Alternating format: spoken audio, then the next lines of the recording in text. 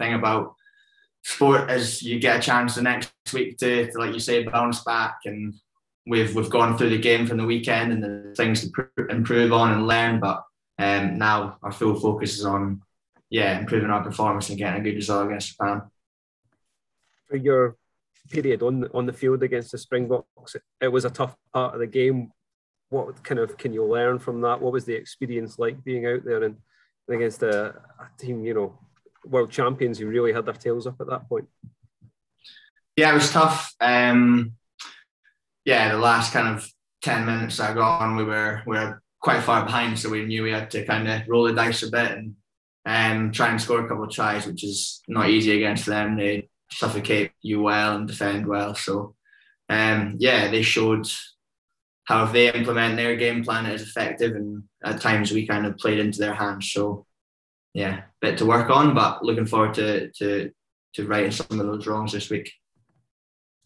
What's it like as a, as a nine? You know, getting your chance to kind of make an impression from the bench in, in, in the the game so far. Is that is that is that trickier? You know, is it harder to kind of I don't know put your your, your game across when you're coming on and there's already an established rhythm about the about the match? Yeah, it's quite tough um, when you're not getting too much game time, but you know you've, you've still got a big role to play. Whether that was the Australia game last ten minutes, with to you know just be accurate in what we're doing and, and close the game out. Um, slightly different scenario at the weekend, coming from behind, and it was a case of just trying to play at tempo and um, yeah, trying to up, up the speed and, and put them under pressure. So yeah, it's, it's tough because you don't get as much minutes on the field, but um, I think it's, it's, still an important role you've got to play and adapt to the situation that the game's kind of given you. What's it like you, Ali, and, and, and Jamie all play together at, at, club as well? Does that is that quite a good thing to translate kind of the relationship over to the to the international camp? Yeah, with all three of us, we've got a good relationship. We do a lot of work on our game together and things. So yeah, that's nice. We obviously know each other really well and things. Um, but we're all still competing against each other. We all are competitive guys. We all want to be starting and playing as much as possible. So yeah, it's good in a way that we're familiar, but there's still um, yeah, everyone still wants to to play. Cheers, mate. Yeah, you, you, you mentioned there you know, about um, coming off the, the bench. I mean, all, all your um, your Scotland caps since 2019 have been as a replacement. I mean, you must be really itching to to start um, for for Scotland again. Um, do you think that might come in, in Saturday? Yeah, well, we never know. I mean, I hope so. Um, yeah, you you want to start in the games, and um, but yeah, that's, that's kind of not up to me at the moment. I, I hopefully I can get a start, but if I'm not selected or if I'm coming off the bench, then yeah, I just want to to get out there and play for Scotland and, and, and play as well as I can. Yeah, and your replacement the last time Scotland played um, Japan when they lost in the, the World Cup. Um, what do you remember of, of that day, and you know how how do you think that will help you um, against them this time round?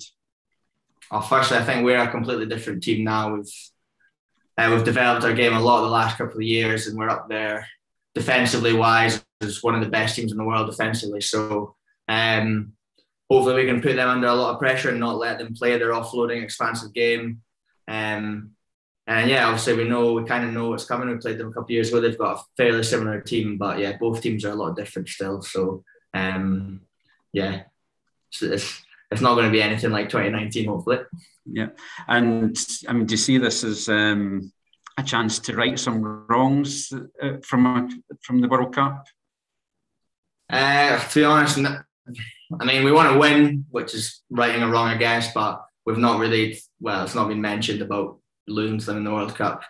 And we're just focused on getting a result this week. And yeah, if we put out a good performance, I think we'll be good enough to beat them.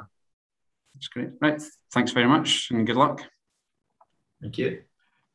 George, has it been uh, different for you playing against the likes of Australia, South Africa the last few weeks? Is it, you know, a kind of different intensity? Is it, we have two of the top teams in the Southern Hemisphere, just something different?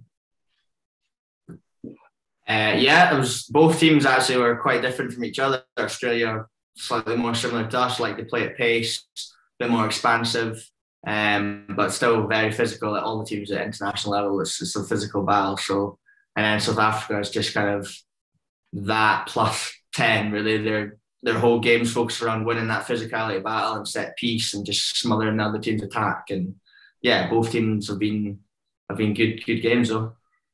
It was quite interesting just listening to you know the players after the game we spoke to us were a real disappointment because you really, obviously as a squad you you expected to to do better. You, you feel that having that approach that can help you improve as a as a as a squad. You've got obviously got two years to to improve before you play them again at the World Cup.